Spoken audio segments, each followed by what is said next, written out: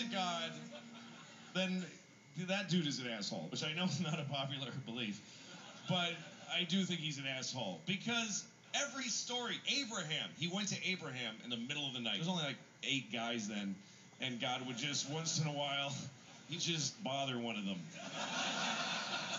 So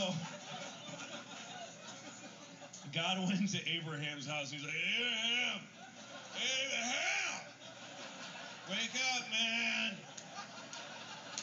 And Abraham was like, "Oh, dude, what, what is up? What is up? And God goes, kill your son, dude, kill your son.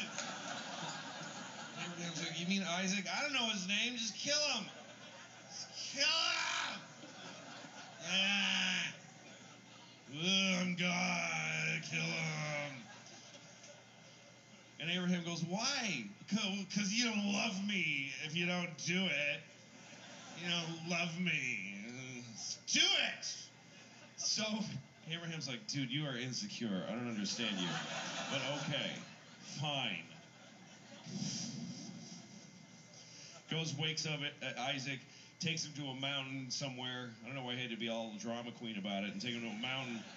Could have just killed him in the sleep and go back to sleep.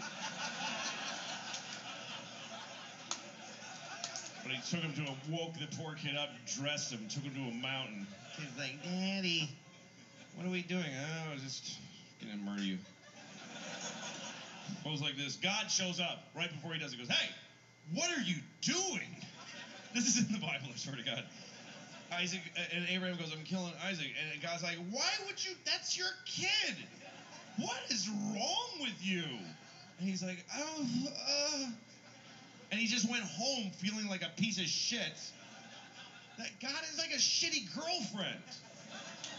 You won't do it because you don't love me. Okay, I'll do it. Why are you doing it? What the f- you want from me?